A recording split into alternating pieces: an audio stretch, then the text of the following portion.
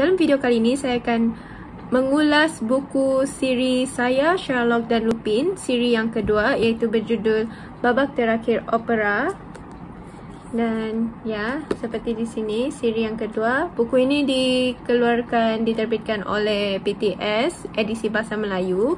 So, um sebelum ni dalam video sebelum ni tentang siri yang pertama saya menceritakan bagaimana Irene bertemu dengan Sherlock dan juga Lupin itu merupakan pertama kali mereka bertemu.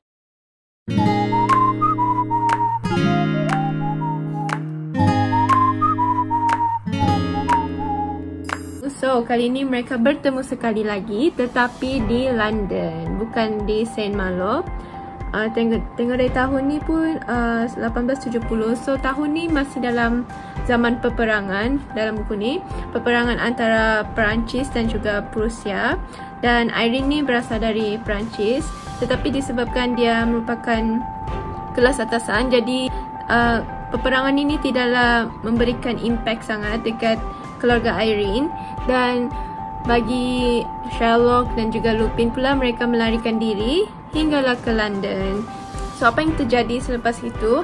Ayahnya, ayah Irene mengajak keluarga mereka pergi ke London. Tujuan ayah Irene untuk membawa mereka ke London adalah untuk untuk mendapatkan keselamatan lah untuk mendapat keselamatan yang lebih terjamin dekat London sebab Perancis tengah dalam peperangan tetapi selain tujuan itu ayah Irene mengajak mereka satu keluarga untuk pergi ke London untuk menonton, menyaksikan persembahan seseorang opera, pemain opera yang memang sangat terkenal. So, Irene memang sangat minat dengan Ophelia, Ophelia ni.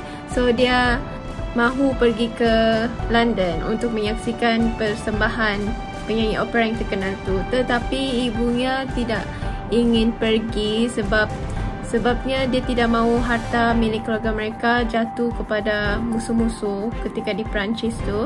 So ibu dia stay and akhirnya Irene, ayahnya dan juga Tuan Nelson pergi ke London. Okay, so apa yang terjadi adalah pada malam selepas persembahan penyanyi, penyanyi opera tersebut, uh, didapati bahawa ada berita tentang pembunuhan pembenahan terhadap Alfredo Santi iaitu seorang komposer yang sangat terkenal. Selepas kejadian itu, Sherlock dan juga Irene bertemu dan selepas itu mereka bertemu dengan Lupin selepas mendapat berita pada keesokan harinya bahawa ayah Lupin iaitu Theo Pastre dituduh membunuh Alfredo Santi iaitu komposer yang terkenal yang telah terbunuh pada malam sebelum itu. So begitulah permulaan mereka berjumpa sekali lagi. So um, Lupin menceritakan bagaimana ayah mereka boleh tertuduh, membunuh dan so on so on. Tetapi apa yang lagi mengasyikkan, apa yang lagi interesting apabila um, sehari selepas itu mereka mendapat pula berita bahawa penyanyi opera yang terkenal itu, Ophelia Meridiu, hilang. Ada kabar angin mengatakan bahawa mereka berdua ini mempunyai hubungan dalam diam Ophelia Meridio dengan Alfredo Santi. Jadi mereka ingin menyiasat tentang kejadian tersebut. Tetapi selain itu, walaupun mereka tengah menyiasat tentang kes pembunuhan Alfredo Santi dan juga kehilangan Ophelia Meridio, mereka bertemu pula dengan satu lembaga bertemu dengan syaitan dikatakan syaitan yang bertanda merah di satu tempat ni namanya Bethnal Green. So usaha mereka untuk menyelesaikan misi ini untuk mencari bukti untuk mencari Ophelia Meridiu agak terganggu dengan kehadiran syaitan bertanda merah ini. Bagaimanakah dia berkaitan?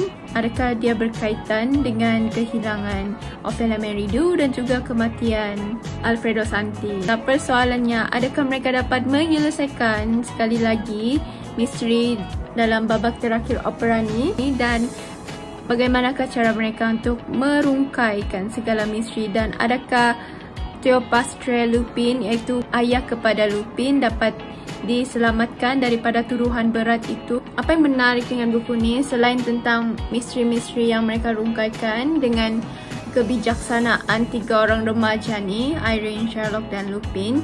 Saya juga suka dengan nilai persahabatan yang ditulis dalam buku ni, yang diselitkan dalam buku ni seperti contohnya walaupun Irene daripada status sosial yang yang seperti bangsawan macam tu, tetapi Irene sangat setia, sangat ikhlas untuk berkawan dengan Sherlock Holmes dan juga Lupin. Lupin agak malu dengan dirinya dan dia merasakan bahawa kemungkinan Sherlock dan juga Irene tidak tidak mau berkawan dengan dia kerana latar belakangnya yang agak teruk dan juga agak atau saya agak tidak baik. Tetapi Irene mengatakan bahawa um, persahabatan mereka tidaklah harusnya berdasarkan status sosial macam tu. Yang penting ikhlas dan juga setia.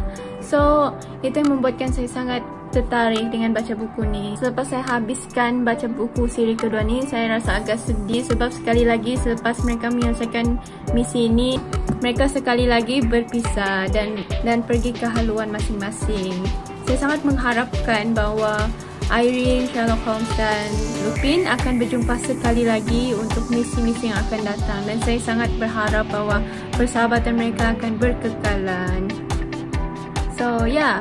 Saya rasa itu saja untuk buku ni. Anda harus membaca buku ni jika anda ingin tahu tentang siapakah pembunuh itu dan dan apakah hubungan antara Alfredo Santi dan juga Ophelia Meridew, penyanyi opera yang terkenal itu. Itu saja untuk video saya kali ini. And stay safe, stay healthy. Bye!